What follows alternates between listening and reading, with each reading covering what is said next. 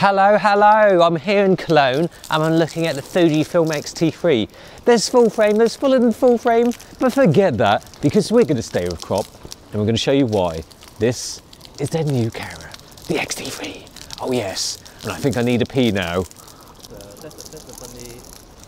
It's a big pissing, spouting cock.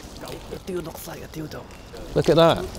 The wetness, moisture on the standpoint of water, that's really wet. As you've just figured out, I'm here today with Lok. We're both filming a review of the XT3. We've both got XT3. We're not sharing the XT3. Not- we don't share. We, we have to return it. Yeah, oh yeah. Not like it's our- not ours. So yeah, this is a Sunday in Cologne.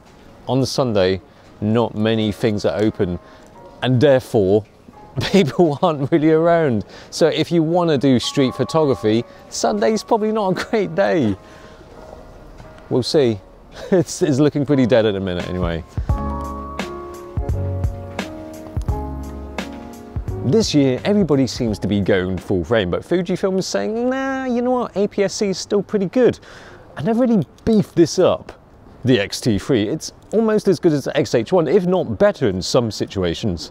So yes, it's quite mind-blowing how much stuff they put in the X-T3, which I'll go into in a minute, but it's a 26 megapixel sensor inside, two more megapixels than the X-H1 and X-T2, but the body is actually quite similar to the X-T2. Yes, it's got two card slots, that's the important thing, guys. And then we've got the tilty flippy screen. Oh no, it doesn't flip. It doesn't flip. It doesn't do the selfie. And it does, it, it, it does that. Eh? There, there you go. It does that for, for gangster style shooting. Boom, boom, boom. Yeah, anyway, let me show you what else it's got. That rear 3.2 inch screen is touchy feely now, but the body itself feels a lot like the XT2, which is a good thing, although there are some subtle tweaks. The dials are redesigned slightly. If you notice very carefully, the XT2 dials were straight up, the XT3s are slightly slanted for better ergonomics. An exposure comp dial has been sized down further away from the edge so you don't accidentally knock it. It's the little details that count, but there are some BAM in your face improvements too. It's got the latest processor, which is which is quite amazing because the XH1 has got the same processor as the XT2, so this has got better stuff. When teamed with the BSI, that's not bullshit inspector, it's backside illuminated sensor. It'll be better at low light, but also in terms of the autofocusing, it's better. And it's got more focus points. The focus points almost reach to the full edge of the sensor, if not the full. Is it full? Can't remember. Pretty full. 425 points. Yeah. To XH1 only got 325. So Yeah, I mean- more. That's crazy. And and then the, and then the burst rate, 11 FPS mechanical shutter, 11 FPS on the XH1, but that was with the battery grip. And then the electronic shutter, if you use electronic shutter, it's it's 30 FPS, isn't it? Yeah, 30. which is a one a 1.25 times crop. Is that right? Something like Something like that. Yeah. But that's mind blowing. Mind blowing. 30 FPS. That's video. Yeah. You're just shooting video basically. It's a 26 megapixel video. yeah. How many K is that? Lots of K. There's a lot of K. 12. The new processor is central to all the newfound goodness. It's about three times quicker than XT2 at processing the clever stuff. I mean, you're probably asking what is the difference then between this and XH1. XH1 is a more robust body, thicker magnesium alloy body, and it's got a top LCD screen. So there you go. But this has got better battery life than the XT2 and also the XH1.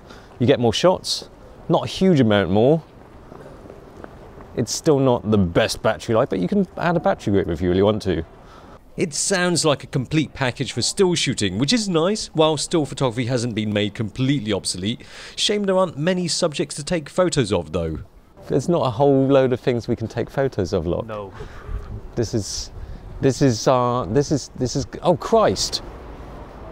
Not open, just goes to show that he does take a day off on Sunday. Come on Cologne, entertain us. There's a car park there, that's interesting. It's got like more than one story. Bur- Burger King. If all else fails, entertain yourself. There's a house full of cocks. Cockhouse! Kunstler House. Just shot, just shot that one from the hip. Because I saw the screen wasn't even on, and I just thought, okay, Yeah. hold the button, hold the button. I'm not even gonna, I'm not gonna have time to, to eyeball that one. See if it's in focus. Slightly off, but I shot it blindly. The autofocus point probably wasn't even on her. Right, nothing on the street, but I do not want to bloody end up at the cathedral again because we always end up going to the cathedral. Been there so many times last time and this time as well. Just do not want to go. Let's not go there, okay? Yeah, anyway, AF. You've, you've got the options of face detection and IF. I've got this face detection and IF, and is really good. Focus is fantastic. Super quick. The AF is apparently 1.5 times faster than XT2 and sensitive down to minus 3 EV, too low than before. Coupled with sophisticated AF features, not sophisticated in the sense that it listens to classical music or goes to the opera or stuff like that, and we've got a decent AF package going on. But anyway, I've got this with IAF and also face detection on, and it's really quick. The focus is fantastic. It feels so responsive, so snappy. I, don't know why I just find it funny that people want to take photos next to fountain, but I just do. Yes, I'm a tourist botherer. It's not high octane stuff, but the camera still has to act as quick as I want it to when I see an expression in a moment. Every split second counts. Timing is everything, and the XT3 doesn't hold things up. You've got interesting manual focusing aids such as this new micro prism that is anything but microfied. Anyway, with such good autofocus, it's something that I'd rarely use anyway.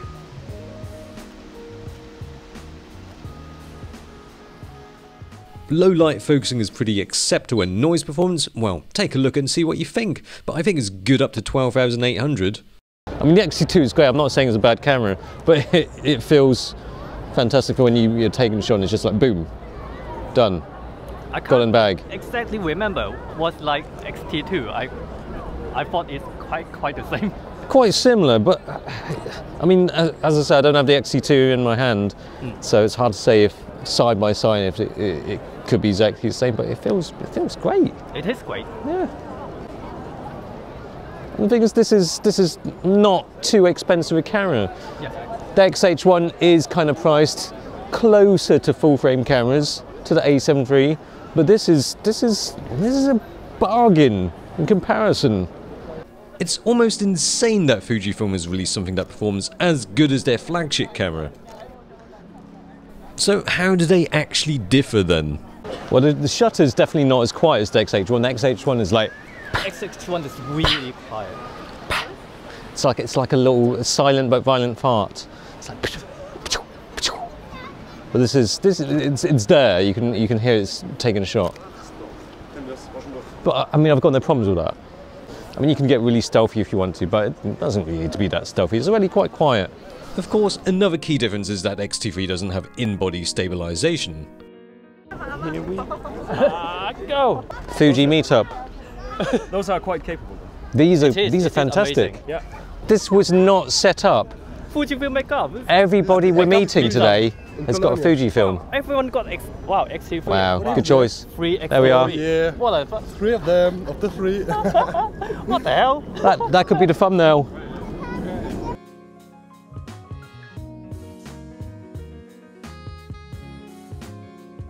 It just goes to show it, the, the, the amount of people who have bumped into and they just happen to be using Fujifilm. That there's, there's, it's a popular system. It's no wonder that Fujifilm are, are deciding to carry on with crop and also go with fuller frame because if they switch to full, if they switch if they switch to full frame and they suddenly introduce a whole load of full frame lenses, the people who've invested in this system basically have to buy a whole set of new lenses. And probably really hard to get 11 FPS anyway. Yeah, It will. yeah, it won't that's be true. as impressive, probably. So it just goes to show that there's still life in crop. And Fujifilm has just announced some more new lenses at Photokina, including a rather splendid f1 lens. Anyway, the X-T3 has plenty of performance perks, which ought to be tested out really. So in terms of autofocus burst rate, it sounds pretty good on paper, but in practice, what is it like? We're gonna have to ha- we're gonna have to get a fast-moving subject Yeah. Me. He's quick, so quick he has flaps for downforce. You've got the other side, mate. Yes. On the bike. Yes. Two wheels. Let's go downhill. Yay, found one. There we are. Still locked. Have, we have the manual, Lee. Uh, and then up, up there. AF speed and sensitivity can be customized to your scene or subject. I'm not photographing any leopards or go-karts, so I picked the lady running towards me. Close enough. Boost. Boost. Boost mode. Ah! Boost. Okay, so what does do? This this tightens everything up. Yeah, not not everything, just on the camera. It makes it faster. Or the, the viewfinder's got a faster refresh rate. Yeah, 60, but now at 100. I mean, normal 60 up to now 100. This is like like flicking a sport mode on your sports car. But of course, it takes up a bit more power, doesn't it? It takes a bit more juice. Quite a lot. Quite a lot. So I've got on tracking, I've got on wide AF tracking. So let's see how this competes against your, your wicked cycling skills.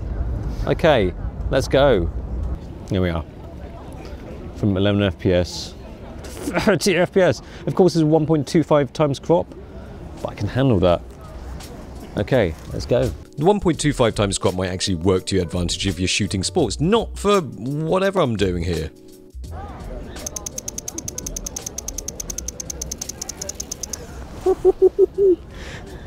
I don't. It's just making that noise just to say, "Oh, hello, I'm taking a shot," but it's making a little clicky noise there. That's pretty good. That tracking is good. Kind of quite affordable. It's not too expensive. It's not the XH1. Even looks like a film camera. Oh yeah. I mean that's that's kind of weird thing. Is this classically designed retro style camera? 30 FPS. That's just uh, that's it's my it's it's crazy. Okay, so is that it? Oh, Not quite yet, but let's put the bike back first. what's going on? Why won't he just leave it in one place? he's already locked it. he's already locked it, and he's. Just, I mean, what is this? He has. He's got to leave it in a nice, aesthetically pleasing way. I hope that's, I hope that's enough. Yeah, so we've established that it's a pretty good stills camera, but I think one of the big improvements with the XT3 is in the video mode. XT2 shot 4K, XH1 shot 4K, XT2 did it in crop though. This, no crop.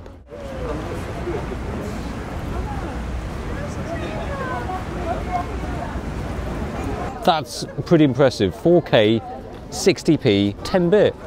420, but you know, I don't, I don't think that you're not going to see too much of a difference for things like YouTube. Probably more different between 8-bit and 10-bit if you are doing log file.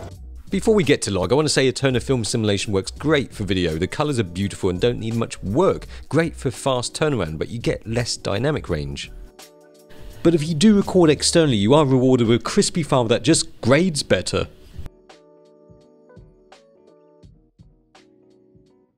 Fujifilm kind of like they never emphasize this is good for video, but they just like effortlessly just yeah win. But this is quite a sweet spot because although GH5 does 4K, 10 bit, um, 60p, 420 internal, this does the same, but it's got Super 35 sensor. Cinematography geeks, they'll be like, oh, Super 35, yeah, the, the micro, micro four thirds is, is not, is uh, super, it's not Super 35, it's two times crop, isn't well, it? mentioning about ma- Micro Four Third also, this got really good dynamic range. It's This always, one. Uh, this, When you compare the files from the XT3 and the GH5, the XT3 has slightly more dynamic range than the GH5. In, in terms of continuous autofocus, how are you finding it for video? Not sure yet. No. But to be honest, just from initial test, it, it seems quite reasonable. It, it seems quite quick. It's, it's quite snappy. It doesn't kind of, it doesn't seem, it's almost so quick. It doesn't do that whole smooth pulling into focus. It's just like boom, boom. I did Focus, purpose- focus. I did purposely for video shooting. I did purposely slow down the autofocusing. You can indeed change the speed and sensitivity of the video continuous AF also, which is in a dedicated video menu, but AF still snaps into focus. I mean, the focus is quick and damn accurate, whether the subject be backlit or poorly lit. It just doesn't snap into focus in a smooth way. As mentioned before, it doesn't have IBIS, but for YouTubey people, the 10 to 24 has OIS. You'll get a bit more shakes than a GH5, but much less than something with a bigger sensor. Also, the rolling shutter is quite low, a bit more than GH5, but very good in its own right. It looks like the only difference is that XH1 got in-body stabilization. Nothing else. Slightly more rugged body, Yeah, Um, uh, quieter shutter. top LCD screen. Oh, oh wow, you're paying for that. You're just paying for that. S- yeah, it is a bit weird that the XH1 is is the flagship, and, it, and there's quite a bit more, isn't it? More money, which is fine if you haven't bought it yet. But if you haven't bought it yet, I, you should seriously consider one of these. Are you thinking of going full frame? Well, here's one reason not to. The Fujifilm X-T3 is possibly one of the best cameras of the year. It has the standard tasty Fujifilm colours and retro cool dials, but they've upped the game to make this a hot performer for stills and for video. It's a complete package. It doesn't have IBIS, but if it had that, it would make the XH1 pointless. But now, the X-T3, you'll just have to make do with it making it almost pointless.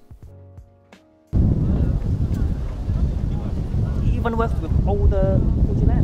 So it's not a hardware, but it's software. It's funny the way I'm sliding in like that.